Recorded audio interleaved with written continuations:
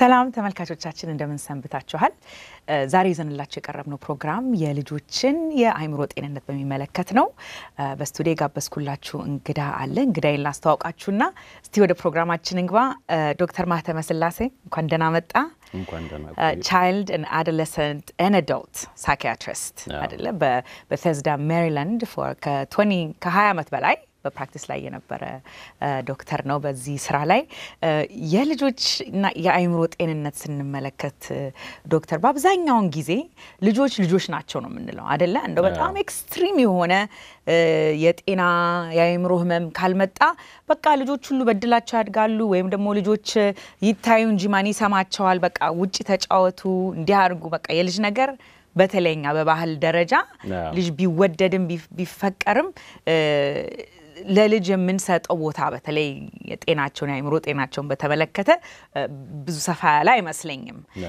ግን የልጆቻችንን ደግሞ ስኬታማ የሆነ ኑሮ እንዲኖሩ ሙሉ የሆነ ኑሮ እንዲኖሩ የሚመጣባቸውን ችግሮች እንደ ወላጆች አውቀንላቸው ተረድተንላቸው የሚያስፈልጋቸውን ደግሞ እርዳታ ማድረግ ስንችል የልጆቹን የወደፊት ምን አይነት ዜጎች እንደሚሆኑ ታሪካቸውን መቀየር እንችላለን አደለ ዶክተር?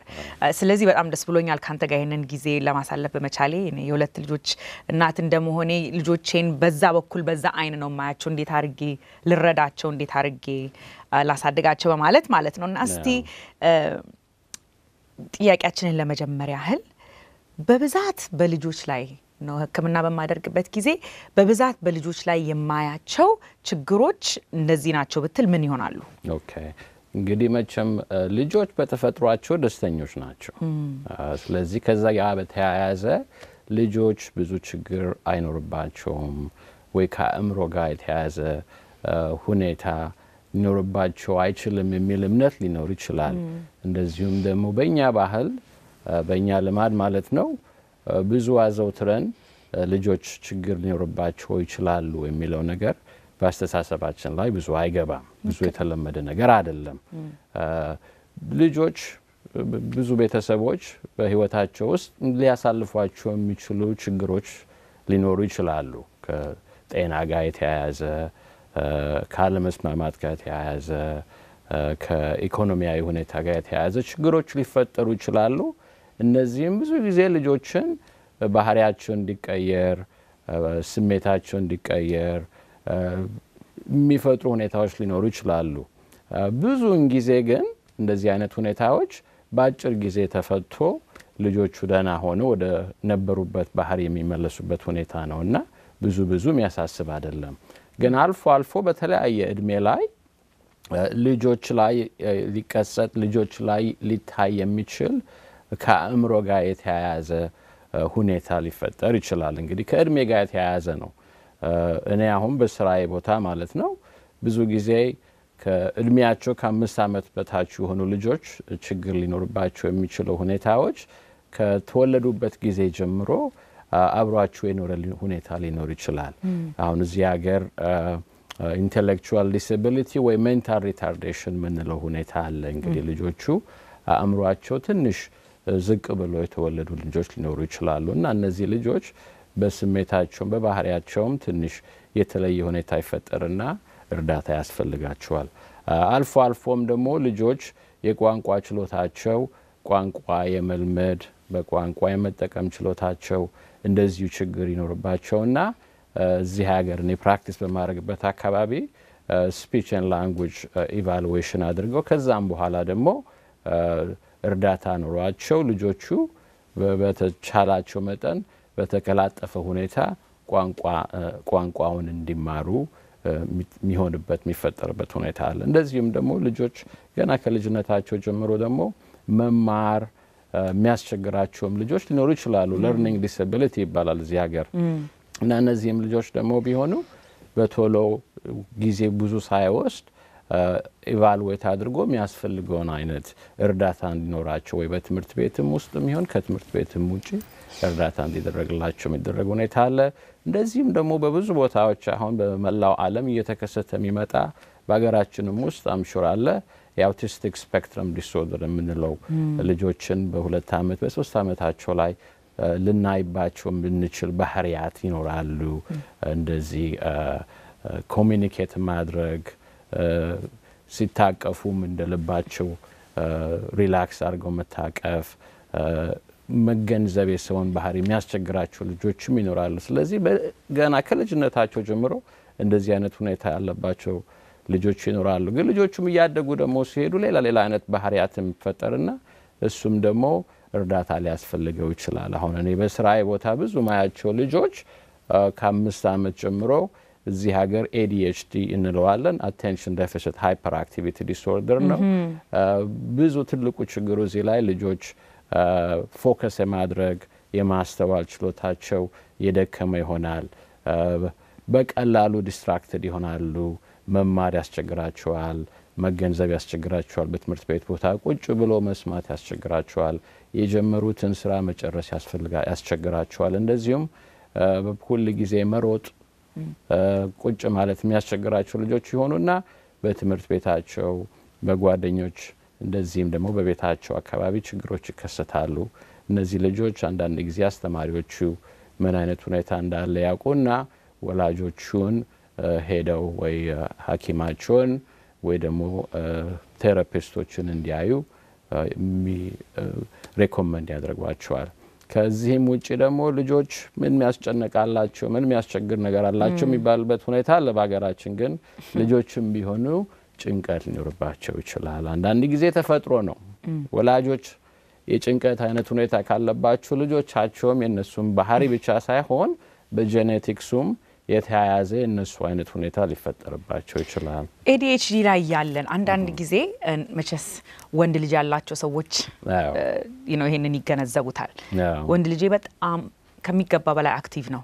okay አንዳንዴ እኔ ከዚህ ከግድግዳ ላይ ሊዘል ነው እንዲህ ነው የምለው ነገሩ በቃ ሲሽከረከር ነው የሚውለው። ወይም ደግሞ maths መጥቶ ቁጭ ብሎ homework ስራ ሲባል ነው በጣም የተወሰነ attention ነው ያለው። ከአስር ደቂቃ በኋላ መነሳት አለበት። ወይም ቆሞ አንድ ጥያቄ መልሶ ቆሞ ተሽከርክሮ ጠረጴዛውን እንደገና ቁጭ ይላል። whereas እህቱ ለአንድ ሰዓት ቁጭ ብላ ስታነብ ስታጠና መቆየት ትችላለች አይደለ?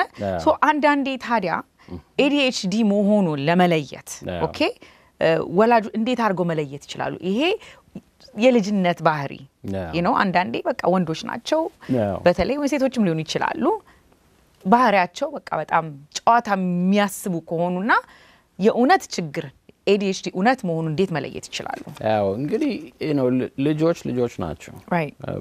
በተጨማሪም ደግሞ ወንድ ልጆች more መንቀሳቀስ፣ መሮጥ፣ መጫወት እንደዚ አይነት ጨዋታ መጫወት ይፈልጋሉ። ስለዚህ ይሄ በጣም normal ባህሪ ነው።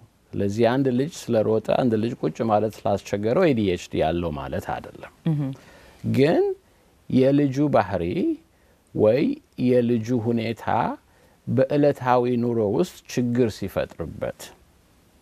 ማለት አሁን ይሄ ልጅ ትምህርት ቤት ሄዶ ከሌሎች ተማሪዎች ጋር ቁጭ ብሎ የመማር ችሎታው የደከመ ከሆነ በ classroom ውስጥ ወይም በክፍሉ ውስጥ ሌሎቹም እንዳይማሩ interrupt የሚያደርግ ሌሎቹን እንዳይማሩ እየተነሳ የሚናገር አርፈህ ቁጭ በል ሲባል የሚያስቸግረው በየሁለት በየሶስት ደቂቃው የሚነሳ የሚቁነጠነጥ ልጅ ከሆነ እንግዲህ እሱንም መማር ብቻ ሳይሆን የሌሎችንም መማር ችግር እየፈጠረ ነው ማለት ነው። ስለዚህ እንደገና ደግሞ ያው ልምድ ያላቸው ተሞክሮ ያላቸው አስተማሪዎች ሁኔታውን ገምተው አይ ይሄ ልጅ ያለበት ሁኔታ ችግር ሊፈጥርበት ይችላል አሁን ብቻ ሳይሆን ለሚቀጥለውም ጊዜ ነው። አንድ ልጅ እንግዲህ ሁለተኛ ክፍል ሆኖ ሁለተኛ ክፍል ትምህርቱን በደንብ ካልተማረ ሶስተኛ፣ አራተኛ፣ አምስተኛ ሲገባ እየባሰበት እያስቸገረው እንጂ እየተቻለው አይመጣም። አይደለም እንዴ? ስለዚህ የዕለታዊ መነባብሮ ላይ ችግር ሲፈጥር ማለት ነው። እንደገና ደግሞ አንድ ቦታ ላይ ብቻ ሳይሆን ችግሩ በተለያየ ቦታ ላይ ሲከሰት ነው። ትምህርት ቤት ውስጥ ቤት ውስጥ ችግር ሲፈጥር እንደዚሁም ደግሞ ወይ ሌላ ቦታ ወይ ቤተ ክርስቲያንም ሄዶ ይሆን ወይም ልጫወት ከጓደኞቹ ጋር ሄደውም እንደዛ አይነት ችግር የሚፈጥርበት ከሆነ ከእሱ ጋር የተያያዘ ነው እንጂ አርፎ ቁጭ ማለት አስቸገረው፣ ተቁነጠነጠ ወይ ሮጦ ብሎ ብቻ ADHD ያለው ማለት አይቻልም። እና አንዳንዴ ታዲያ እነዚህ ልጆች በጣም ስለማንረዳቸው እንጎዳቸዋለን። ብዬ አስባለሁኝ። ወይም ይሄ ቀልቃላ ነው አስተማሪ በዱላ ይደበድባል፣ ወይም አባትና እናት ቤት በዱላ ይደበድባሉ። ግን ይሄ ልጅ እውነት የአእምሮ ጤንነት ጉዳይ ነው አደለ? ስለዚህ ወላጆች ታዲያ አሚን እዚህ ሀገር ሕክምና ታደ አይደለ አንደኛ የዚህ ሀገር ህክምና ምንድን ነው እልና ወደ ወደ ሀገራችን መልሳሉ። ምን አይነት ህክምና ነው የምታደርጉላቸው? ADHD ካላቸው እንግዲህ የመጀመሪያ መቼም አንድን ልጅ እንደ ባህሪው ማወቅ ያስፈልጋል። ከሌላ ልጅ ጋር compare ሳያደርግ ወይ ወንድሙ ወይ እህቱ እንደዚህ ስለሆነ እሱ ለምን እንደዚህ አልሆነም ብሎ ችግር ለልጁ መፍጠር አያስፈልግም። እንደ ወላጅ መጠን ትልቁ ከፍቅር ሌላ ማለት ነው እና ሰላማዊ የሆነ ቤት ከመፍጠር በቀር ልጆቻችንን ማነጋገርና መጠየቅ መቻል አለብን። አሁን በእኛ ምናልባት እኔ እንኳ እንግዲህ ብዙ ጊዜ ያለኝ ከወጣው ልጆችን መናገር ልጆችን የመጠየቅ ልማድ ብዙ ዝንባሌ የለንም። ስለዚህ ልጆቻችንን ቀስ ብለን መጠየቅ ማነጋገር መቻል አለብን። ሳንቆጣ ሲያጠፉም ቀስ ብሎ አነጋግሮ ከሁኔታው ጋር የተያያዘ ሶሉሽን ለመፈለግ ማለት ነው። እዚህ ሀገር ከትምህርት ቤት ጋር የተያያዘ ልጆቹ ችግር ሲኖርባቸው ከወላጆቹ ጋር ተመካክረው አንዳንድ ነገሮችን ሊፈጽሙ ይችላሉ። ልጆቹ ፊት እንዲቀመጡ ከአስተማሪው አጠገብ ማለት ነው። እያደጉ ሲሄዱ ደግሞ ወይ test ወይ ፈተና ሲኖራቸው ደግሞ እነዚህ ልጆች ብዙ ጊዜ የረዘመ ጊዜ ስለሚፈጅባቸው ለመጨረስ ስራቸውን extra ወይም ደግሞ ተጨማሪ ጊዜ ይሰጣቸዋል።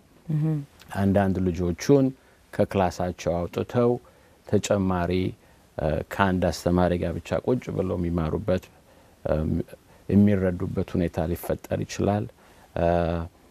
አንዳንድ ጊዜም ደግሞ ከትምህርት ቤት ውጭ ማለት ነው tutor መቅጠር የሚያስፈልግበት ሁኔታ ሊኖር ይችላል። አንድ ልጅ ድክመት ካለበት ማንበብ ላይ ትምህርት ቤት ብቻ የሚያደርገው ሳይሆን ከውጭም ደግሞ ትንሽ መጨመር ያስፈልጋል ማለት ነው። በቤት ውስጥም ቤተሰቡ ሁሉ involved ሆኖ የልጁን ባህሪና ዝንባሌ ለመቀየር መሞከር አለባቸው።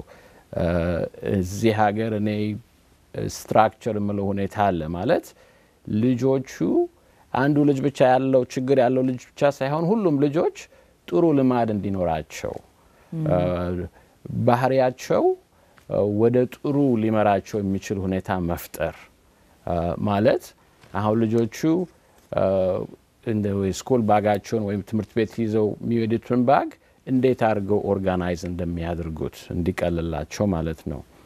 ልጆቹ ትምህርት ቤት ውለው ቤት ሲመጡ ሊያረጉ የሚገባቸውን ነገሮች structure አድርጎ መጀመሪያ ስመጣ እጫወታለሁ፣ ከዛ ቁጭ ብዬ አጠናለሁ፣ ከዛ ወይ መጽሐፍ አነባለሁ ወይ ሙዚቃ ሰማለሁ ሚለውን structure የሆነ activity እንዲኖራቸው ልጆቹን መርዳት habit develop እንዲያደርጉ ማለት ነው። መድኃኒት በኋላ ነው የሚመጣው። ሌሎቹን ነገሮች ሞክረን ሌሎቹ ነገሮች ብዙ ለውጥ ካላመጡ ያኔ ምናልባት መድኃኒት ልንጠቀም እንችላለን።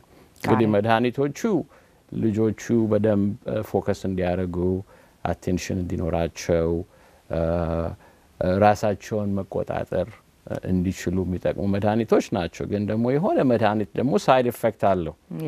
ስለዚህ አንድ አንድ ሰው ይሄ መድኃኒት እንጀምር ብሎ ወደዛ አይነት ሀሳብ ከገባን ችግሩ ምን ያህል ነው? እስከዚህ ድረስ ከባድ ችግር ነው ወይስ መድኃኒት የሚያስፈልገው? ምክንያቱም ከመድኃኒቱም ጋር ደግሞ ችግር ሊመጣ ስለሚችል እሱን አመዛዝነን ነው ወደዛ የምንሄደው። perfect። እስቲ አጠር ያለች ረፍት ወስደን እንመለስና እንቀጥልበታለን። ሀሳቡን ረፍት ወስደን እንመለሳለን። ተመልካቾቻችን እንግዲህ ከረፍት ቆይታችን ተመልሰናል። ዛሬ የምንናገርበት ሀሳብ ስለ ልጆቻችን የአእምሮ ጤንነት ነው እና ዶክተር ረፍት ከመውጣታችን በፊት ስለዚህ ስለ ADHD ስላልከው ስንነጋገር ነበር። ይህንን ታዲያ ልጆቹ ወይ ሕክምና ወይም therapy ተደርጎላቸው የሚሻላቸው ነገር ነው ወይስ ወደ ህይወታቸው ይቀጥላል? እንዴት አድርገው ነው manage ወይም ደግሞ መቆጣጠር የሚችሉት ይህንን ነገር? እንግዲህ ይሄ ADHD የምንለው condition ብዙ ጊዜ በልጅነታቸው ነው የሚከሰተው የሚጀምረው እና እስከ 75 ከመቶ የሚሆኑት ልጆች teenager ኦች ሆነው ወደ high school በሚገቡበት ጊዜ ያ ችግር ብዙ ጊዜ ከእነሱ ጋር የሚቆይ ነው። እንደዚሁም ደግሞ እዚህ ሀገር እስከ 50 ከመቶ የሚሆኑ ሰዎች በስራ ዓለም የሚሆን ወደ ኮሌጅ ከገቡም በኋላ ይሄ ሁኔታ የሚቀጥል ነው ማለት ነው። ስለዚህ ብዙዎቹ ሕክምና የሚያስፈልጋቸው ናቸው። ብዙዎቹ ደግሞ ራሳቸውም ተቀብለውት መድኃኒቱን ሲወስዱና መድኃኒቱን ሳይወስዱ እንዴት affect እንደሚያደርጋቸው ስለሚያውቁ ከ side effect ኡ ጋር አያይዘው መቀጠል የሚመርጡ ሰዎች ናቸው። ይሄ ADHD የምንለው ከቤተሰብ ጋር ከ genetics ጋር የተያያዘ ነው። እስከ 25 ከመቶ የሚሆኑ ወላጆች ልጆቻቸው ADHD ያላቸው እነሱም ADHD ይኖራቸዋል። ብዙዎቹ አያውቁትም። ስለማያውቁት ነው። ብዙዎቹ አያውቁትም እና እንደውም እዚህ ልጆቻቸውን ይዘው ሲመጡ እነሱም ራሳቸው ይሄ ሁኔታ እንደነበረባቸው ወይ እንዳለባቸው የሚረዱ ሰዎች ብዙ ናቸው። ስለዚህ እንግዲህ ችግሩ ያው ከአእምሮ ጋር የተያያዘ ነው። function of brain ነው የምንለው ማለት እንዴት አድርገው የአንድ ሰው አንጎል እንደሚሰራ ነው። ስለዚህ ወይ አንዳንዴ ወይ በልማድ ይሄ ሰነፍ ወይ ሌዚ እዚህ ሀገር እንደምንለው ከእሱ ጋር የተያያዘ ፈጽሞ አይደለም። ምክንያቱም ማንም ቢሆን ደካማ ሰው ሆኖ መሆን የሚፈልግ ሰው የለም። ስለዚህ ወላጆች መከታተል አለባቸው ማለት ነው። በተለይ አገራችን እንደዚህ በአብዛኛው ቶሎ ዳያግኖስ የመደረግ እድሉ ልጆች አይኖራቸውም። ቶሎ ሁኔታቸውን ሰው የመረዳት ነገር ላይኖረው ይችላል እና ወላጆች በጣም ልጆቻቸውን መከታተል አለባቸው ማለት ነው አደለ? የልጆቻቸውን ባህሪ ከቀን ወደ ቀን ለምንድን ነው ይሄ ልጅ የሚቸገረው instead of ወዲያው ይሄ እንደው ቀልቃላ ይሄ እንደው ምናምን ስም ሰጥተው ከመደብደብ በፊት ከማቆጣት ከማስቸገር በፊት መረዳት መቻል አለባቸው ማለት ነው አደለ? የልጃቸውን ባህሪ እንግዲህ ዋናው ቅድምም እንዳልኩት ልጆቻቸውን መጠየቅ፣ ከልጆቻቸው ጋር መረዳዳት መጠየቅ ሲል ልጆች አሁን ለምሳሌ ምሳሌ ስጠኝ። አሁን ለምሳሌ ያህል አንድ ልጅ ሂሳብ ይከብደዋል እና ልጁን አንተ እንደዚህ ነህ፣ አንተ ሰነፍ፣ አንተ ደደብ ብሎ ልጁን ከመቆጣትና እንደገና የባሰ ሁኔታ ላይ መጥፎ እንደሚሰማው ከማድረግ በቀር ምንድን ነው ቁጭ ብለህ ይህንን ሂሳብ ስትሰራ ምንድን ነው ችግርህ? ምኑ ላይ ነው መረዳት የሚያስቸግርህ? እና ልጆቹ አባዬ ወይም ማየ ቁጭ ብዬ ስራዬን ስሰራ ሀሳቤ ወደ ሌላ ይሄዳል። እዚህ ሀገር ዴይ ድሪሚንግ የምንለው አለ። እንግዲህ ቁጭ ብሎ በሆናቸው ህልም ያሉ ማለት ነው። አስተሳሰባቸው ወደ ሌላ ይሄዳል። እንትናቸው አቴንሽናቸው በጣም አጭር ነው። የተማሯትን ነገር ቀን የተማሯትን ቤት መጥተው ማድረግ ሲሞክሩ ደግሞ ማስታወስ የሚያስቸግራቸው ልጆችም አሉ። ስለዚህ ልጆቹን ብንጠይቃቸው አንዳንዴ ምን እንደሆነ እንደሚሰማቸውና ምን እንደሆነ ችግራቸውም ትንሽ ልንረዳ እንችላለን። በተጨማሪ ደግሞ አስተማሪዎቹን ማናገርም ደግሞ በጣም አስፈላጊና በጣም ጠቃሚ ነው። ምክንያቱም አስተማሪዎቹ ልማድ አላቸው። አስተማሪዎቹ ሌሎች ልጆችም ያስተምራሉ ክላሳቸው ውስጥ። ስለዚህ የመገምገምና ልጁ ያ ልጅ ማለት ነው ወይ ያች ልጅ የት አይነት ሁኔታ ላይ እንዳሉም ለወላጆቹ ሊነግሩ ይችላሉ። ስለዚህ ልጆቹን መጠየቅ እንደገና ደግሞ አስተማሪዎቹን ማናገር እንደዚሁም ደግሞ ቁጭ ብሎ ከልጆቹም ጋር ቢሆን ስራቸውን መስራትና መርዳት በተለይ ልጆቹ ትንንሾች ባሉበት ጊዜ በጣም ጠቃሚና አስፈላጊ ነው። ወላጆቹም ቢሆኑ ያኔ ሊረዳቸው ይችላል ማለት ነው። ስለዚህ ትምህርት ቤት ወላጆች ትምህርት ቤት የመሄድ ኃላፊነት አለባቸው ማለት ነው። ዝም ብሎ ልጆቻቸው መላክ ብቻ ሳይሆን በተለይ ችግርን በልጆቻቸው እያዩ ያሉ ወላጆች እየተከታተሉ ከአስተማሪ ጋር በምን እንርዳችሁ? አይደለ? ልጄ እንዴት ነው ትምህርት ቤት ውስጥ? ክፍል ውስጥ እንዴት ነው ቢሄቭ የሚያደርገው ብሎ መጠየቅ አለባቸው ማለት ነው። አዎ። እንግዲህ ነዋስ ትምህርት ቤት እንግዲህ ትልቁ ስራቸው ልጆችን ማስተማር ነው አይደለም እንዴ? ስለዚህ ልጆቹ እንዲረዱ፣ ልጆቹ እንዲማሩ፣ ልጆቹ እንዲገባቸው ነው የሚፈልጉት። ስለዚህ ልጆቹን ትምህርት ቤት መላክ ብቻ ሳይሆን በእለታዊም ባይሆን at least በየሳምንቱ ምን እንደሆነ እንዴት እንዳሉ ምን እንደሚማሩ ምን እንደሚያጠኑ ከልጆቹ ጋር ቁጭ ብሎ መነጋገር በጣም አስፈላጊ ነው። እንደገና ደግሞ ከአስተማሪዎቹም ጋር ቢሆን መነጋገሩ በጣም አስፈላጊ ነው። እኔ አሁን ሁለት ልጆች አሉኝ። ሁለቱም ልጆቼ ኮሌጅ ነው ያሉት እና ከልጅነታቸው ጀምሮ ማለት ነው ተወልደው ትምህርት ቤት ከገቡበት ጊዜ ጀምሮ ያው ከ pre kindergarten ጀምሮ እስከ አስራ ሁለተኛ ክፍል በነበሩበት ጊዜ እኔና ባለቤቴ ከአስተማሪዎቹ ጋር ሁል ጊዜ involved ሆነን እንነጋገራለን። ያው በዚህ ሀገር ልማድ back to school night የሚሉት ነገር አለ። ትምህርት ቤት በተጀመረ ጊዜ አንድ ሄዶ ከአስተማሪዎቹ ጋር መነጋገር ያስፈልጋል። እዚህ ሀገር school parent teacher conference የሚሉት አለ። የተለየ ጊዜ ለወላጆች መጥቶ ከአስተማሪዎቹ ጋር የሚገናኙበት ጊዜ አለ። ሄዶ ከእነሱ ጋር መነጋገር ያስፈልጋል። እንደዚሁም ደግሞ ወላጆቹም ቢሆኑ interest ሲያሳዩና involve ሲሆኑ አስተማሪዎቹም ቢሆኑ more involved ይሆናሉ። more interest ነው የሚኖራቸው እነሱ። ስለዚህ ከትምህርት ቤቱ ጋር መነጋገርና መረዳዳት በጣም አስፈላጊ ነው። ልክ ነው። ሌላውን ደግሞ ከ ADHD ወጣ ስንል bipolar ነው። አንደኛ ምንድን ነው እሱ bipolar disease ማለት ወይም የአእምሮ ህመም አይነት ነው አደለ? ምንድን ነው ምንንስ ይመስላል የሚለውን ብታስረዳ። እንግዲህ bipolar የምንለው እንግዲህ በአማርኛ እንዴት አድርጌ እንደምተረጉመው አላቅም፣ ግን እነዚህ ሰዎች bipolar ማለት ሁለት extreme የሆነ መጨረሻ end ማለት ነው። ባህሪ ያላቸው ማለት ነው። ባህሪያቸው፣ ስሜታቸው አንድ ጊዜ በጣም high ይሆናል፣ በጣም ደስተኞች ናቸው። አንዳንዴ በጣም ቁጣ ይኖራቸዋል። ከሰው ጋር መነጋገር መግባባት ያስቸግራቸዋል። ባህሪያቸው በጣም የተቀየረ ይሆናል ማለት ነው። ሌላ ጊዜ ደግሞ በጣም depress ሊሆኑና በህይወታቸው ውስጥ ደስታ አይኖራቸውም። ተስፋ የመቁረጥ የመድከም ፍላጎታቸው ሁሉ የደከመ የሚሆንበት ሁኔታ አለ። ስለዚህ bipolar ማለት አንድ ጊዜ ስሜታቸው ላይ አንድ ጊዜ ደግሞ ስሜታቸው በጣም ታች የሚሆኑ ሰዎች ናቸው ማለት ነው። እና ይሄ በልጆችም ይከሰታል። በልጆችም ሊከሰት ይችላል ሊከሰት ይችላል። በልጆች ሲከሰት የምናየው ሁኔታ እንደ ትልልቅ ሰዎች ክሊር አይደለም። ልጆቹ ወደ መነጫነጭ፣ መቆጣት፣ እንቅልፍ እምቢ ማለት መግባባት ያስቸግራቸዋል። እንደዛ እንደዛ አይነት ባህሪ ነው የሚጀምሩት። ይሄ ደግሞ ባህሪ ደግሞ ከነበረባቸው በጣም የተለየ ባህሪ ይሆናል። አንዳንድ ጊዜ ከቤተሰብ እንዳልኩት ቅድም ከ genetics ጋር የተያያዘ ሊሆን ይችላል። አንድ ቤተሰብ አንድ ወላጅ እንደዛ አይነት ሁኔታ ካለው ልጁ በጣም four ከአራት እስከ ሰባት ጊዜ የበለጠ አለ እንደዚህ አይነት ሁኔታ እንዲፈጠርበት። ስለዚህ ከእሱ ጋር የተያያዘ ነው። አንዳንዴ ደግሞ በህይወት የሚከሰቱ ሁኔታዎችም ሁኔታውን ሊያመጡት ይችላሉ።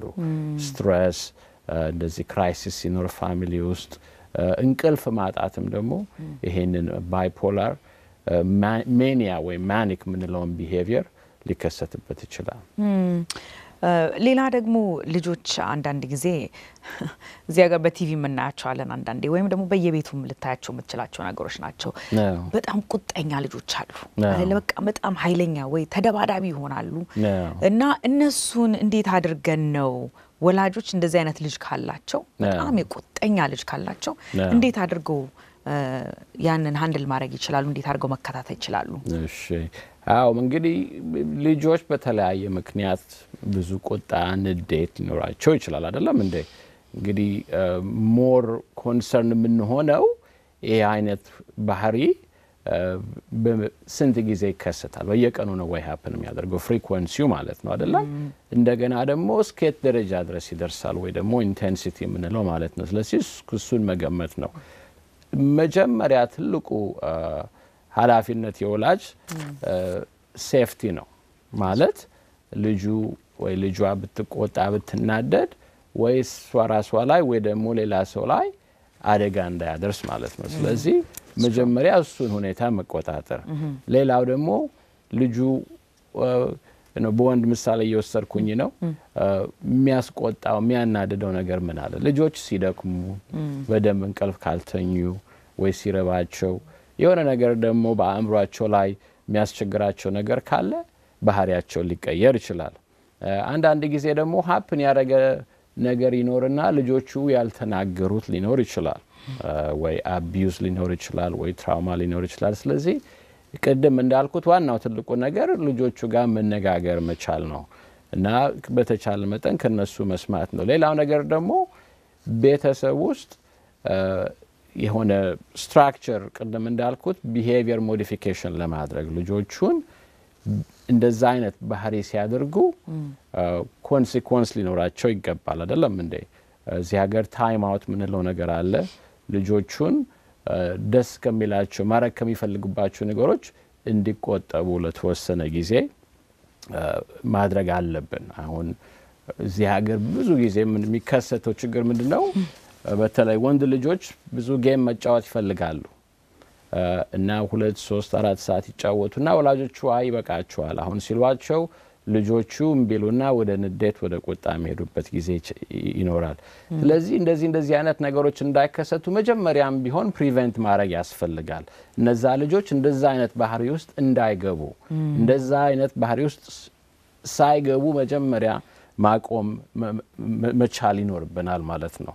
ስለዚህ ልጆቹ behavior ኣቸውን እንዲቀይሩ አስቀድሞ ማስተማር እንደገና ደግሞ እኛም ብንሆን ስንገስጣቸው ስናርማቸው እንደነሱ ተቆጥተን ወይ መጥፎ የሆነ ቋንቋ ተጠቅመን ሳይሆን በተቻለን መጠን ድምፃችንን የምንናገረውንም ነገር ቆጥበን ብንናገር more effective ይሆናል።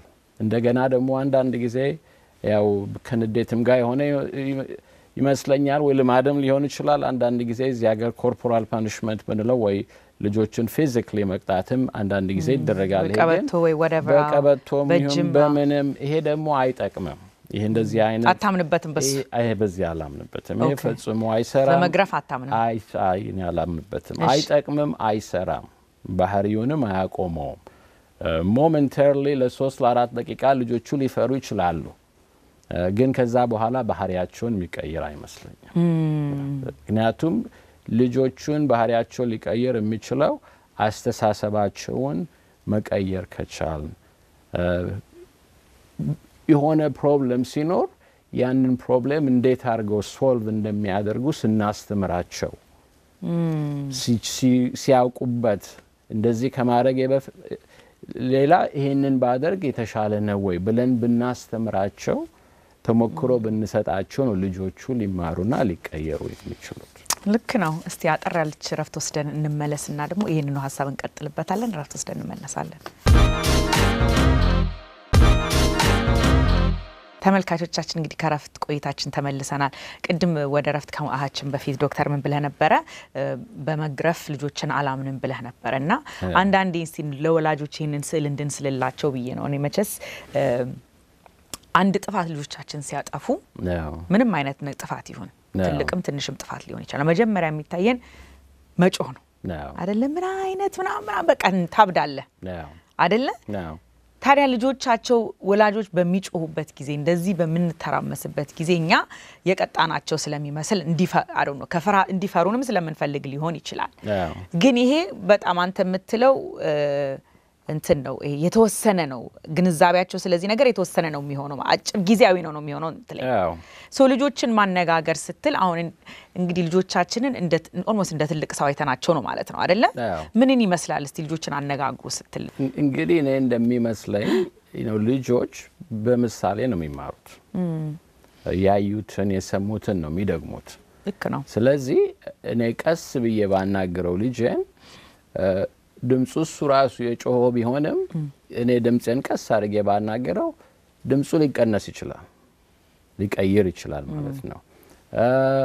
lecture ከማድረግ ወይ ከመንገር እንደዚህ አድርግ እንደዛ አድርግ ከማለት ብጠይቀው ይመልስልኛል፣ ፓርቲሲፔት ያደርጋል ማለት ነው። አይደለም እንዴ? ለምን እንደዚህ ያረክ ማለት ነው። ለምን እንደዚህ ያደረግ ምንድን ነው እንደዚህ የምታደርግበት ምክንያት ብለን ብዬ ብጠይቀው የሚሰጠኝ መልስ ሊያረካኝም ላያረካኝም ይችላል፣ ግን መልስ ይሰጠኛል። የት እንዳለም ለመገመት እችላለሁ ማለት ነው። አይደለም እንዴ? ምን እንደሚያስብ ሁኔታዎችን እንዴት አድርገው እንደሚገምት እሱ የሆነ problem ሲፈጠር እንግዲህ በሱ በሚመስለው ነገር react አድርጎ በጣም ተናዶ የሆነ ነገር ተፈጠረ ማለት ነው። አይደለም እንዴ? ቀስ ብዬ ባናግረው ግን ልጄን ምናልባት ከተለየ ቦታ ይሆናል እኔ የምመጣው። ስለዚህ እኔ አይ እንደዚህ እኮ አይደለም የተፈጠረው ነገር እንደዚህ ነው፣ እንደዚህ አርገ ብታየው ግን እንደዚህ react አታረግም። ብዬ የማረሚያ opportunity ይፈጥራለሁ ማለት ነው። አይደለም እንደ የመማሪያ ጊዜ ይሆናል ያ ጊዜ ማለት ነው። ስለዚህ ልጆቹን ማናገር ማለት አንዳንድ ጊዜ ደግሞ ቁጣ ባለበት ጊዜ መናገር ያስቸግራል። አይደለም እንዴ ትንሽ ነገሩ ቀዝቀዝ እስከሚል ድረስም መጠበቅ ነው። አንዳንዴም ቢሆን የራሳችንን emotion አይተን አይ ይሄ ጥሩ ጊዜ አይደለም ልጄን ማናገሪያ ብለን የምንወስንበትም ሁኔታ ሊኖር ይችላል እመጣለሁ ተመልሼ ጠብቀኝ ብለህ? አዎ። ምክንያቱም እንዳልኩት ቅድም first thing is safety እንዲኖር ማለት ነው አይደለም? እንዴ ማንም ሰው እንዳይጎዳ secure ካደረግን በኋላ ቀስ ብለን address ልናደርገው ሁኔታ ሊሆን ይችላል። ግን እኛ ራሳችን እየተቆጣን እኛ ራሳችን መጥፎ ቋንቋ እየተ- እየተጠቀምን ልጆቻችን እንዳይቆጡና መጥፎ ቋንቋ እንዳይጠቀሙ መጠበቅ አይገባንም። ራሳችን በምሳሌ መኖር አለብን አይደለም እንደገና ደግሞ ቁጣ የሰው ባህሪ ነው። ማይቆጣ ሰው የለም። ሁላችንም እንቆጣለን። ግን በምንቆጣበት ጊዜ ደግሞ destructive መሆን የለብንም። በተቻለ መጠን ቁጣችንን appropriate በሆነ መንገድ አድርገን effective የሚሆነው እንደዛ ሲሆን የሆነ ነገር effective የሚሆነው በስነ ስርዓት ሲደረግ ነው። ካልሆነ እሱ ይሆናል ችግሩ። አንደኛ ሌላ ችግር ይፈጠራል ልክ ነው። እነ ቅጣት ደግሞ ልጆች ደግሞ በጣም ይገባቸዋል። እንደው ረጋ ብለህ አነጋግራቸው okay እንዲ እንዲ እንዲ እንዲ አድርገሻል አሁን ቅጣቱ ምን ቢሆን ምን ይመስልሻል?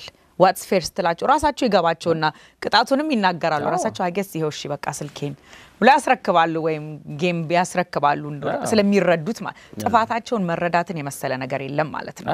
አይደለ? ትምህርቱ ነው። exactly exactly okay ወደ ሌላ ልውሰድህና ይሄ post traumatic stress disorder PTSD ነው የምትሉት አይደለ? አንደኛ ምንድን ነው በልጆች ላይ ሊከሰት ይችላል የሚለውን ብታብራራለን። አዎ እንግዲህ post traumatic stress disorder የሚባለው ነው የሰው ባህሪ፣ ስሜት፣ አስተሳሰብ፣ physical wellbeing ከሆነ በህይወት የተገሰጠ happen ያደረገ trauma በጣም ከባድ trauma happen አድርጎ ከዛ በኋላ የሰው ባህሪ ስሜት ሲቀየር ማለት ነው። ሰው አንድ መጥፎ ነገር ከተከሰተ በኋላ አዎ አሁን ለምሳሌ ያህል ወይ መጥፎ የመኪና አደጋ ወይ ደግሞ አሁን እንደዚህ unfortunately ፍሎሪዳ happen እንዳደረገው ነው ሰው ከተገደለ ከሰው ከተገደለ witness ካደረግ ካዩት።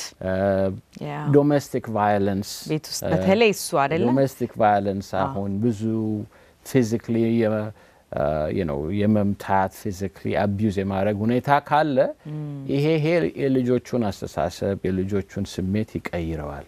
በእንቅልፋቸው ላይ መጥፎ ህልም ይታያቸዋል። የሆኑ ቦታዎችን ይፈራሉ፣ avoid ያደርጋሉ። እነሱም ራሳቸው aggressive የሚሆኑበት ሁኔታ ሊፈጠር ይችላል። ስለዚህ PTSD በሆነ በማንኛውም እድሜ ላይ happen ሊያደርግ የሚችል ነገር ነው። ግን በተለያየ እድሜ ላይ በተለያየ ሁኔታ ሊታይ ይችላል። አሁን ልጆች መሽናት በአልጋቸው ላይ ወይ በልብሳቸው ላይ መሽናት ያቆሙ ልጆች እንደዚህ happen ሲያደርግባቸው ወደ ነበሩበት ወደ ድሮ ወደ ነበሩበት ቦታ ሊመለሱ ይችላሉ። ሪግሬስ ያደርጋሉ። ልጆች ወደ መጥባት የሚመለሱበት ጊዜ ሊመጣታቸው መጥባት የሚመለሱበት ጊዜ ይኖራል። ስለዚህ ወደ ልጅነት የነበሩበት ሁኔታ ላይ ሊመለሱበት የሚችሉ ሁኔታ አለ። ስለዚህ ቶሎ ብሎ እንደውም እንደዚህ አይነት የባህሪ ለውጥ ካለ እርዳታ መፈለጉ በጣም አስፈላጊ ነው። አንዳንድ ጊዜ ምን ይደረጋል፣ በተለይ ሀገራችን ነው ምልህ፣ አንድ መጥፎ ነገር ቤት ውስጥ ሲከሰት ወይ እናትና አባት ተጣልቶ ወይ ፍቺ ከመጣ ወይ እንዳልከው ቤት ውስጥ ድብድብ ሲያዩ የሚጎዳቸውን ነገሮች ሰፈር ውስጥ የማይሆን ነገር ወይ ከተደፈሩ የማይሆን ነገር ሲያደርግ አንዳንዴ ያለን በቃ ልጆች ናቸው ይረሱታል፣ ወይም ልጆች ናቸው አይመለከቱትም ወይም አያስቡትም ብለን እንደው የእነሱን ጉዳት ላይ ታየን ይችላል አደለ? ይሄ ልክ አይደለም አይ፣ ልክ አይደል? አይደለም። እንግዲህ በእኛ ልማድ በተቻለ መጠን ብዙ ነገር ከልጆች እንደብቃለን አይደለም? ልክ ነው። ልጆች እንዳያውቁ ከመጥፎ ነገር የተያያዘ አይመስለኝም። እነሱን ፕሮቴክት ለማድረግ እነሱን ለመጠበቅ ነው። ለመጠበቅ ነው። አዎ። ግን ደግሞ ያዩትን የሰሙትን ነገር ማነጋገሩ የተሻለ ይመስለኛል። እንዳልሰሙ ከመተው እንዳልሰሙ ከመተው እንደ ወላጅ መጠን ቀስ ብሎ ከነሱ ጋር መነጋገርና ምን እንደሚያስብ ቅድም እንዳልኩት ከእነሱ ጋር ተነጋግሮ ምን እንደሚያስቡ መጀመሪያ ማወቅና so ቁጭ ብዬ እስቲ ምሳሌ ስጠኝ። አሁን ለምሳሌ የአስ- የአስር ዓመት ልጅ ነኝ ልበል። እሺ አንድ የማይሆን ነገር ቤት ውስጥ አይቻለሁ። ወላጆች እንዴት ብዬ ነው ልጄን የማነጋግረው ቢሉት ምን ትላለህ? እንግዲህ አሁን ቀስ ብሎ ምንድን ነው እንግዲህ መቼ እንዳየሽ ወይ እንዳየኸው እዚህ ተጣልተን ነበር፣ ቁጣ ነበር እና እርግጠኛ ነኝ ደስ የሚል ስሜት ላይ አይደለም ያለኸው። እና በተቻለ መጠን እስቲ ምን እንደሆን ምን እንደሚሰማ ንገረን። እኛም ብንሆን እንደዚህ አይነት ሁኔታ እንዳይፈጠር በተቻለን መጠን ነው እናደርጋለን ብሎ ቀስ ብሎ መነጋገሩ ትንሽ አስቸጋሪ ነው። ይህንን ምሳሌ መስጠት። ግን ልጆቹን ማነጋገር ምን እንደሚሰማቸው ማወቅ መጠየቅ በጣም አስፈላጊ ነው። ምክንያቱም በልባቸውና በአእምሯቸው የያዙትን ነገር ብዙ ይጠፋል። እያደጉ ሲሄዱ ይረሱታል። ግን ማይረሱት ነገር ደግሞ ሊኖር ይችላል።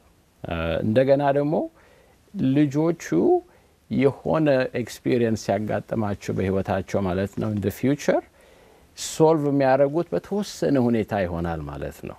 ከበፊት ከተማሩት በፊት ካዩት ሁኔታ ጋር የተያያዘ ሆነና ሌላም trauma affect ሲያደርጋቸው more affect እያደረጋቸው ነው የሚመጣው። ስለዚህ ሰው የማመን አሁን እያደጉ ሲመጡ relationship ውስጥ ሲገቡ ማመን trust ማድረግ ሊያስቸግራቸው የሚችልበት ሁኔታ ሊፈጠር ይችላል።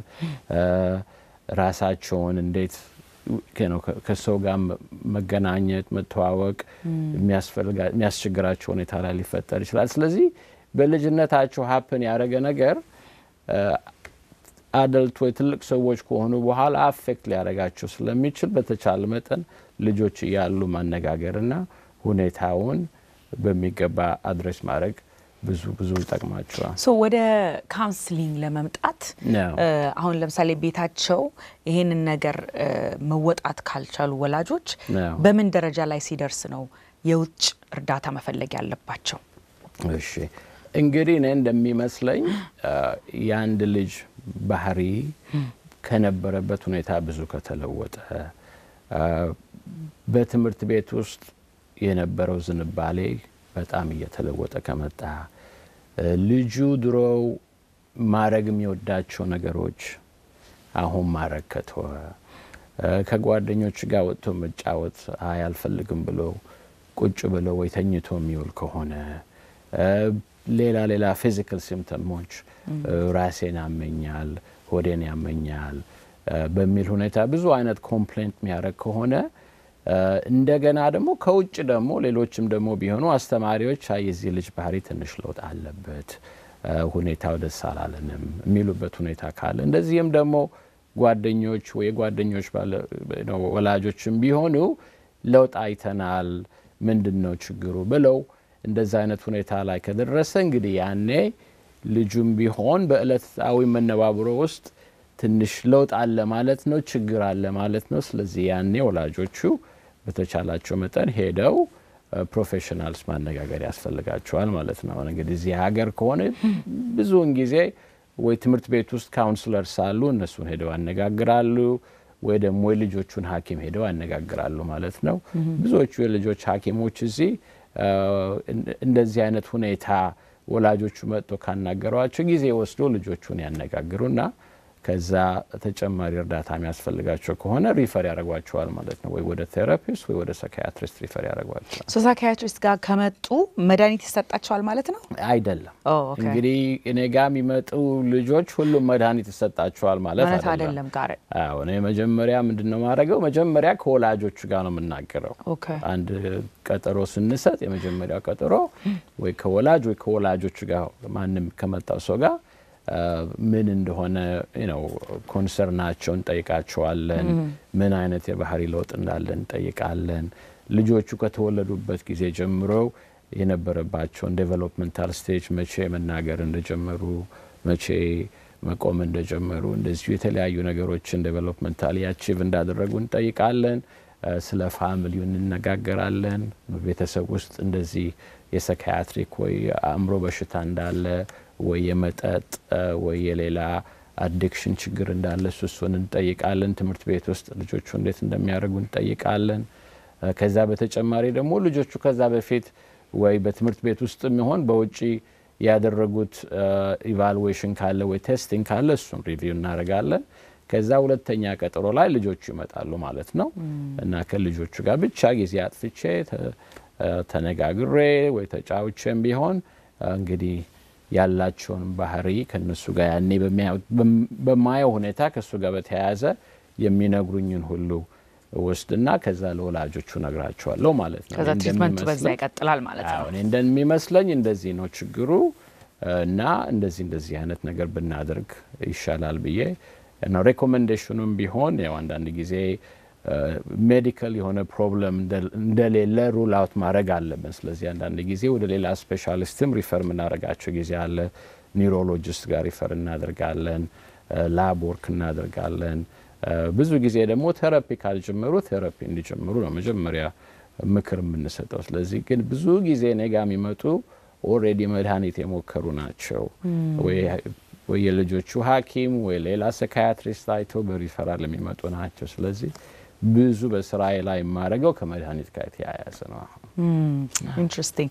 እሺ፣ አጠር ያለች ረፍት ወስደን ደግሞ እንመለሳለን። ከኛ ጋር ቆዩ። ተመልካቾቻችን እንግዲህ ከረፍት ቆይታችን ተመልሰናል። ዶክተር ሌላ በልጆች ብዙ ወላጅ ሊቸገሩባቸው የሚችሉ የባህሪ አይነቶች ውሸት አደለ? አንዳንድ ልጆች በጣም ብዙ በውሸት የሚቸገሩ ልጆች አሉ። እንዴት አድርገን ነው እነዚህ ልጆች ታዲያ ባህሪያቸውን እንዲቀይሩ ማድረግ የምንችለው? እሺ እንግዲህ ያው መቼን ማይዋሽ የለም፣ ልጆች ይዋሻሉ። ግን እንደዚህ ብዙ ባህሪያቸው ወደ ውሸት የሚመሩ ልጆች እኔ እንደሚመስለኝ እኔ እንደማየው ከውሸትም ሌላ ሌላ ባህሪም ይኖራቸዋል። ስለዚህ ውሸቱ ብቻ ሳይሆን ሌላ ያለባቸውንም የባህራዊ ችግሮች መገመትና ማየት ያስፈልጋል። አንዳንድ ጊዜ ያው ውሸትን ለመሸፈን ይዋሻሉ፣ እንደገና እሱም ይቀጥላል ማለት ነው አይደለም እንዴ? ሌላም ባህሪም ሊኖራቸው ይችላል። አንዳንድ ጊዜ ከመቸኮል ነገሮችን ካለማስተዋል ቶሎ ብሎ ከማድረግ ከሌላ ከሌላ ጋር የተያያዘ ሊሆን ይችላል። ስለዚህ አንዳንድ ጊዜ ከምን ጋር የተያያዘ ነው ብሎ መገመቱም ጥሩ ይመስለኛል። ስለዚህ ችግሩ ውሸቱ ሳይሆን ሌላ ነው ችግሩ ማለት ነው። ስለዚህ እሱን address ማድረግ ነው። ሌላው ነገር ደግሞ ያው behaviorally consequence እንዲኖራቸው ያስፈልጋል። አንዳንድ ልጆች ማለትም ከሁኔታው ጋር የተያያዘ ወይም ያመጡት ሰርቋ የሚዋሹባቸው ነገሮች ምን እንደሆኑ ዋና ካወቅም በኋላ እነሱን እንዴት አድርገን address እንደምናደርግ በተቻለን መጠን ደግሞ በሚዋሹበት ጊዜ ሁኔታው ለምን ውሸቱ ከምን ጋር የተያያዘ እንደሆነ ማወቅና consequence ኡ consequence ኡም ያው time out ሊሆን ይችላል።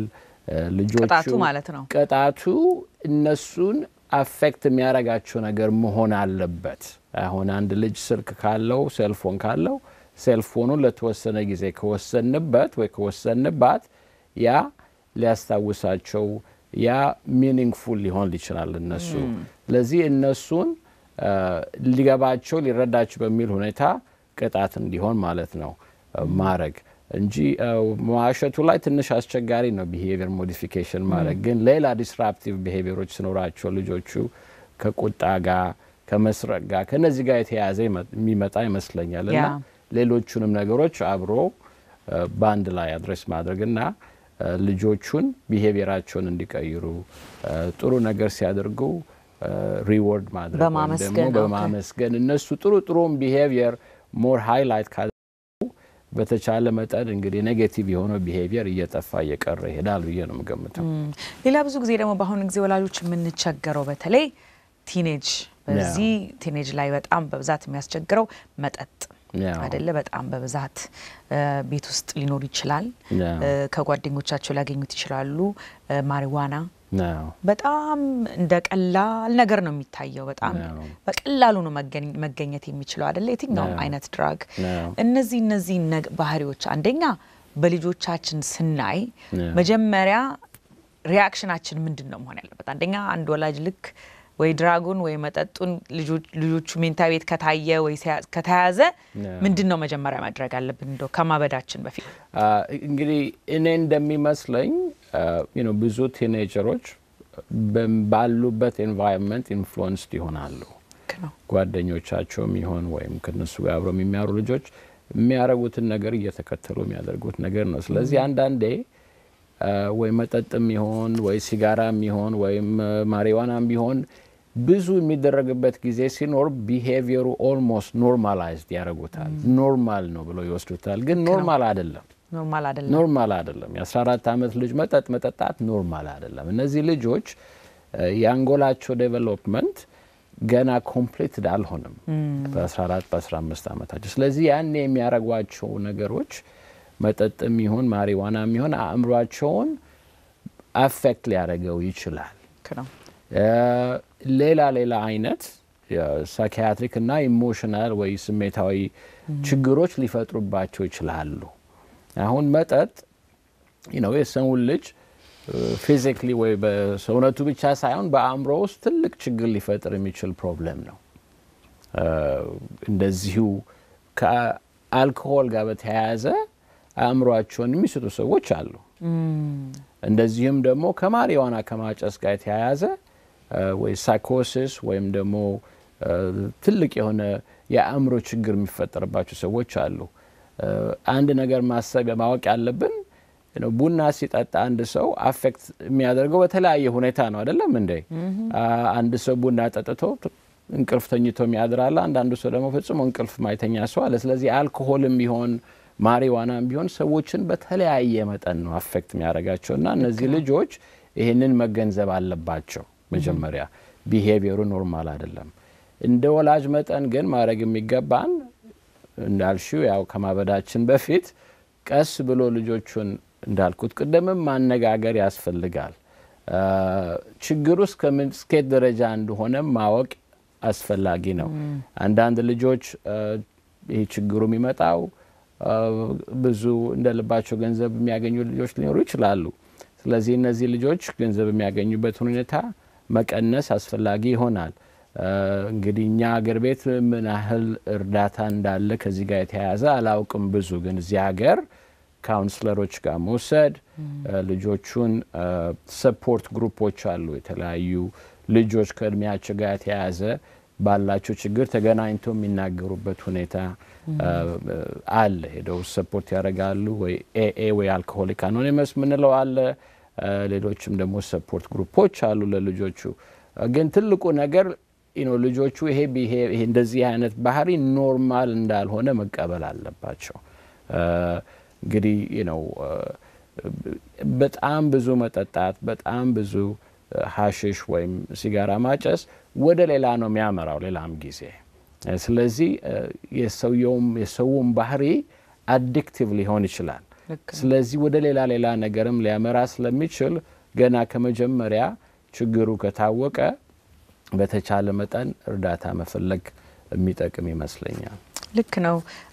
ሌላ ደግሞ ቅድም እንደው የልጆችን ባህሪ ከማሳድ ነው ከልጅነታቸው ጀምሮ ለማስተካከል ወላጆች ባህሪን ማስለመድ አለ ጥሩ ጥሩ ባህሪ ማስለመድ አለባቸው ብለህን ነበር። እና አንዳንድ ጊዜ የወላጆች ኑሮ ሲቀየር ወይ ነው ብር ሲመጣ ወይም ምቾት እየስተካከለ ሲመጣ አንዳንዴ በጣም ወይ ከችግር የመጡ ወላጆች ሊሆኑ ይችላሉ። እና እኔ ከችግር ስላለፍኩ ልጄ ምንም አይነት ችግር እንዲያይ አልፈልግም።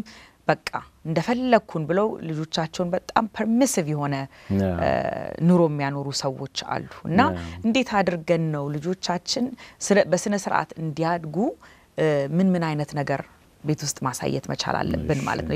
የሁሉ ሰው ኃላፊነት ምንድን ነው የወላጆች? እንግዲህ መቼም ወላጅ እንዳልኩት ቅድም ነው ልጆቹን በፍቅር እንደገና ደግሞ ቤቱን ደግሞ የሰላማዊና የፍቅር ቤት አድርጎ ከፈጠረ ለልጆቹ ብዙ positive የሆነ environment ይፈጥራሉ ማለት ነው። የልጆች ባህሪ ከ financial status ጋር የተያያዘ ሊሆን አይገባውም። አንድ ሰው በተፈጥሮ ጥሩ ሰው kind nice ከሆነ ከ financial status ኡ ጋር የተያያዘ ሊሆን አይችልም፣ ሊገባም አይችልም፣ እንደዛም አይደለም። ስለዚህ ልጆችን ገና ከልጅነታቸው ጀምሮ ጥሩ ልማድ እንዲለምዱ ወላጆቹ ራሳቸው ያንን ባህሪ ማሳየት አለባቸው። ልጆቹ የትምህርት ፍቅር እንዲኖራቸው፣ የማንበብ ፍቅር እንዲኖራቸው፣ ልጆቹ interest እንዲኖራቸው ስፖርትም ይሁን ሙዚቃም ይሁን art ም ይሁን እንደዛ አይነት ዝንባሌ እንዲኖራቸው ወላጆቹ expose ማድረግ አለባቸው። ልጆቹ ኃላፊነት እንዲማሩ ከልጅነታቸው ጀምሮ ኃላፊነት መስጠት ከእድሜያቸው ጋር በተያያዘ ሁኔታ ደግሞ በቤተሰብ ውስጥ የሚደረጉ ውሳኔዎችን participate እንዲያደርጉ ለምሳሌ ማለት ማለት አሁን እንደ አንዳንድ ጊዜ እዚህ ውጭ ሄደው መብላት ወይ ቅዳሜ ማታ ይሁን ወይ ሲኔማ ለመሄድም ይሁን እንደዛ አይነት ቦታ ሲፈልጉ ልጆቹን involve ማድረግ የት ነው መሄድ የምትፈልጉት? ምንድን ነው ማድረግ የምትፈልጉት? ብለው እነሱ ልጆቹን involve ማድረጉ responsibility ም እንዲማሩ ልጆች ከእድሜያቸው ጋር በተያያዘ መጠን እዚህ ሀገር chores እንላቸዋለን የሆነ ነገር ሲሰሩ ነው በሳምንትም ይሆን በወር የተወሰነ ገንዘብ ሳይበዛ አይደለም እንዴ? የአራት ዓመት ልጅም ስራ መስራት ትችላለች። የአራት ዓመት ልጅ ነው ልብሷን አጥፋ ማስቀመጥ ትችላለች። አንስታ ማስቀመጥ ትችላለች። አይደለም እንዴ? ከበላች በኋላ አንስታ ትሬዋን ማስቀመጥ ትችላለች። ስለዚህ ልጆቹን ከልጅነታቸው ጀምሮ ባህሪያቸው ወደ ጥሩ ልማድ እንዲያመራ ወላጆች ራሳችን እያሳየናቸው ማለት ነው። ስለዚህ እኔ ነው ልጆቻችን ከኛ የተሻለ ኑሮ እንዲኖሩ ነው የምንፈልገው፣ አይደለም እንዴ? ግን እንደዛም ስንል ባህሪያቸውና ዝንባሌያቸው ደግሞ positive ሆነው ቁም ነገር እንዲኖራቸው ነው ማድረግ ያለብን። ካልሆነ የጠቀምናቸው መስሎን ካቀለልናቸው በኋላ የከበደ ሁኔታ ነው የሚፈጠርባቸው። ልክ ነው። መስጠት ደግሞ ልጆቻችንን ማስተማር ከልጅነት ከራሳቸው የበለጠ መኖር የሚችሉ ይመስለኛል። አዎ አደለ? ግን ደግሞ መስጠት ብቻ ሳይሆን መስጠት ላይ ለሌላ ሰው ማድረግ ስናስተምራቸው ከራሳቸው ውጭ መኖር አልትሩዊዝም የሚሉት ማለት ነው አደለም? ስለዚህ ራስን ከመውደድ ራስን ብቻ የራስን ፍላጎት ብቻ ከማሟላት ሌላ የሌሎችንም ያሉበትን ሁኔታ ማወቅ፣ መገመት፣ ያሉበትን ስሜት ማወቅ። አሁን አንድ ሰው ሀዘን ላይ ያለ ከመሰለን መጥተን እንደ ደስተኛ ሆነን ብንናገር ያንን ሰው እናከፈዋለን እንጂ አናስደስተውም። አይደለም እንዴ? ስለዚህ ልጆቹም ቢሆኑ እንደዚህ አይነት ሁኔታዎችን ያሉበትን ሁኔታ መገመት እንዲችሉ ነው። ብዙ ባህሪ መቼም ከወላጆች ጋር የተያያዘ ነው። ስለዚህ የወላጅ ኃላፊነት ነው። የሆነ ልጅ crisis የ family crisis ነው። አንዳንድ ጊዜ በልጆች የሚከሰተው ችግር የ family ችግር ይሆንና ልጆቹ እንደ symptom ሆኖ ይወጣሉ ማለት ልክ ነው። ስለዚህ አንዳንድ ጊዜ እንደ ወላጆች መጠን እኛም ራሳችን ብንሆን ራሳችን መጠየቅ ያለብን እንዴ ምንድን ነው እኔስ ማረገው ምንድን ነው እኛስ የምናደርገው ለዚህ ልጅ ሁኔታ ላይ ችግር ሊፈጥር የሚችለው የሚለውን ሁኔታ መገምገም በጣም አስፈላጊ ይመስለኛል። ልክ ነው። so እንደው አጠቃላይ ሀሳብ የምትለው ነገር እንደው ወላጆች እንደው ከስራ ልምድ የተነሳ ብዙዎችን ለሀያ ዓመት እንግዲህ ስታከም ኖረሃል እና በህብረተሰባችንም ውስጥ አምሹር ከዛ ውስጥ ህመም ከበሽተኞች ውስጥ አንተ ጋር ውስጥ አበሾችም አሉ አይደለ? እና በአጠቃላይ ስለ እንደው አይምሮ ጤናን በተመለከተ ህብረተሰባችን ቢረዳልኝ ደስ ይለኛል የምትለው ነገር ምንድን ነው? አዎ እንግዲህ እኔ እዚህ ያው ሀያ ዓመት ስሰራ ሙሉ ዓለም የሚመጡ ሰዎችን አይቻለሁ ማለት እችላለሁ። እና የእኛም ህብረተሰብ እዚህ ዋሽንግተን ዲሲ አካባቢ ብዙ ስላለ አያለሁ። እና ትልቁ እኔ የማየው ችግር ወይ ደግሞ ትልቁ የእኛ ህብረተሰብ መገንዘብ የምፈልገው ነገር የሆነ የአእምሮ ወይ የስሜታዊ ወይ ነው ሁኔታዎች በማንም ሰው ላይ ሊከሰቱ የሚችሉ ናቸው። በልጆች ላይ ሊከሰቱ ይችላሉ። ልጆቹም እያደጉ ሲመጡ ወይም አደልት ከሆኑ በኋላ ሊከሰት የሚችል ፕሮብለም ነው። ስለዚህ በተቻለን መጠን ብናውቅ ብንማር ስለሱ ይጠቅመናል። ከኛ ባህል ጋር ብዙ የተያያዘ ስላልሆነ ነገሮች እስኪ ከብዱ ድረስ ነው የምንጠብቀው። ስለዚህ እስኪ ከብዱ ድረስ መጠበቅ አያስፈልግም። ገና መጀመሪያ እርግጠኛም ባንሆን ለውጥ ካየን ትንሽ ሀሳብ ከገባን ሊረዱን የሚችሉ ሰዎችን ሄደን እናነጋግር። የልጆቻችን ሐኪም የሆኑ የእኛም ሐኪሞች ጓደኞችም ቢሆኑ እንደዚሁም በህብረተሰብ ውስጥ ሊረዱን ይችላሉ የሚሉትን ሰዎች በሃይማኖት ቦታዎችም ቢሆን ሄደን እርዳታ መጠየቅ እና ከዛ ካስፈለገ በኋላ ወደ psychiatrist ወይ ወደ psychologist መሄድ ይቻላል። ግን አስቀድሞ ግን ችግር ሊኖር እንደሚችል መቀበል መቀበል እና denial አለመኖር ወይ ደግሞ አለመካድ ማለት ነው። እያየ ነው አይ ችግር አይደለም አለ ማለት ነው። ትልቁ ነገር እሱ ላይ መጀመር ነው። ከዛ በኋላ የሚደረገውን ነገር ማድረግ ማለት ነው። it's okay እርዳታ መጠየቅ በጣም በጣም የእውቀት ምልክት ነው አደል እንዴ? እንደው ሰው እንዳያይብኝ፣ ሰው እንዳይሰማኝ፣ ሰው ምን ይለኛል፣ ልጅሽ እንደዚህ ሆነ ይለኛል ብለን ደባብቀን ልጆቻችን የማይሆን ቦታ ላይ ከሚደርሱብን ከመጀመሪያ ችግሩን ስናየው አምነንበት ድን እንዳልከው ሳንክደው ችግሩን ሳንሸፋፍነው ከፈት ከፈት አድርገን እርዳታ እንፈልግላቸው ማለት ነው አደለ? እና ምንም ችግር ከሌለም እኮ ሄደን አይ ምንም ችግር የለም ካሉን እኮ ያው ደስ ብሎ ነው የምንመለሱ አደለ? ልክ ነው። እዚህ ሄዶ መጠየቁ መሞከሩ ምንም ችግር የለው። ልክ ነው። thank you እንግዲህ ዶክተር ጊዜህን ወስደህ በዚህ ሀሳብ ላይ ከእውቀት ስላካፈልክን በጣም አድርጌ አመሰግናለሁ። አመሰግናለሁ። thank you ተመልካቾቻችን፣ እንግዲህ ፕሮግራማችን በዚህ ላይ ያበቃል። በሚቀጥለው ሳምንት በሌላ ፕሮግራም እስከምንገናኝ ደህና ቆዩልን።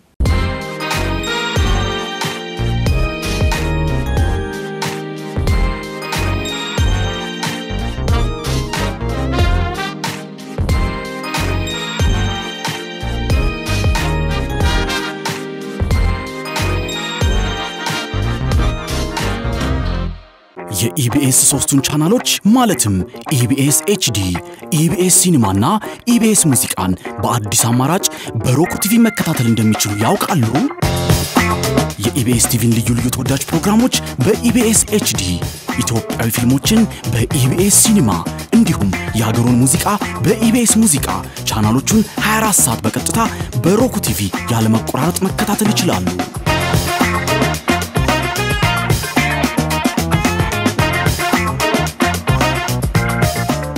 ሮኩ ቲቪ ከሌሎች በአቅራቢያው ከሚገኝ እንደ Best Buy ያሉ የኤሌክትሮኒክስ መሸጫ ሱቆች ወይንም በኢንተርኔት ገዝተው የኢቢኤስ ቻናሎችን መመልከት ይችላሉ።